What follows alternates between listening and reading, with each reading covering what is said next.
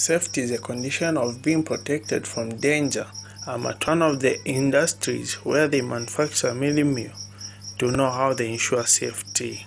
When you enter here, when you start your work here at the industry, you have the basic safety. In case of anything like this, what should you do? So the first thing we do is we make sure that everyone should wear safety shoes. If there's a heavy instrument falling on the leg, is going to be protected. That's one of the safety things. The other hazard which is here is uh, the infection of the skin. That's why we have people putting on the overalls. When they put on overalls, then they, we don't have dust going direct to the skin. And it is also part of hygiene. It is the hygienic part of it.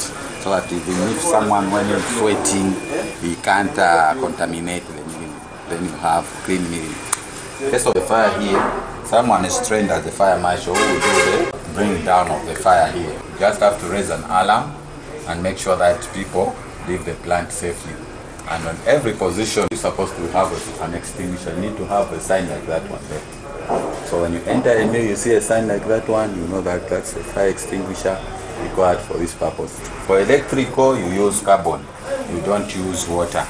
Water it will be another bomb because you create another fire again in the in the mill. You need to have extinguishers which are up to date and always the standard which is read by the government. Every time they come through, every each and every industry, just to make sure that the plant is secured for every worker.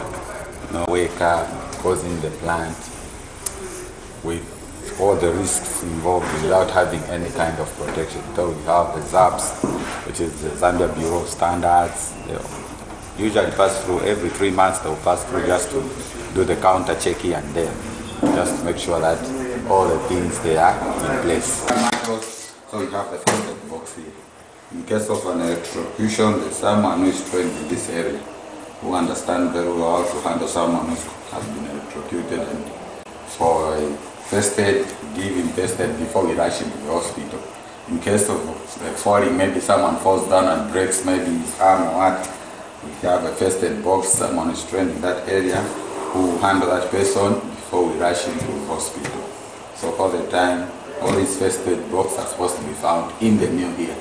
We need to rush to that person, make sure that we give him first aid before we rush that person to the, to the hospital for. Training workers on safety tips and rules may reduce the chances of hazards. Obert Banda reporting.